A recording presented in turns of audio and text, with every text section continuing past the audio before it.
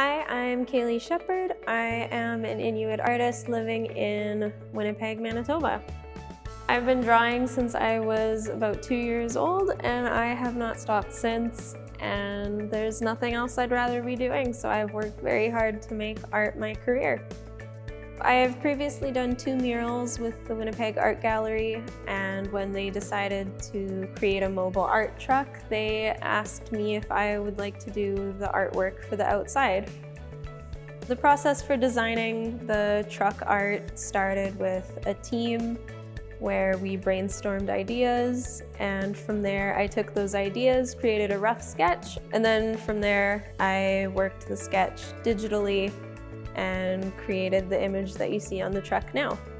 One of the things that we discussed was wanting there to be a feeling of movement since the truck is mobile and also uh, including the footprints uh, as something left behind because there was discussion of you know, making an impact and leaving something behind to all the places that the truck travels to.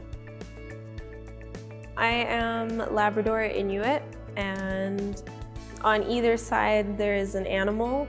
Um, there's a polar bear and a caribou. Both are prominent in Inuit culture and also found in Manitoba. I feel very grateful to be chosen as the artist for the truck. It's very exciting to know that my work is going to be traveling around Manitoba and will be seen outside of Winnipeg. The most significant parts to me uh, within the artwork would be the fish, which is a callback to my first two murals that I did for the Winnipeg Art Gallery. And on the other side, there are crowberries, which is a callback to my time that I spent in Postville, Labrador. Uh, one of the first things I did when we got off the plane was I was able to eat crowberries off the ground. My hope for the piece is that people are drawn in by it and that the colors brighten their day.